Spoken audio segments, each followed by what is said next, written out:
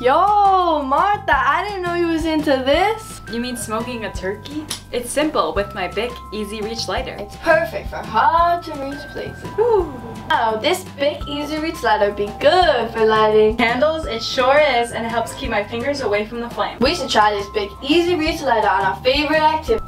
You mean The ultimate light, the ultimate food. the ultimate lighter? Bic Easy Reach, the ultimate lighter for candles, grills, and more.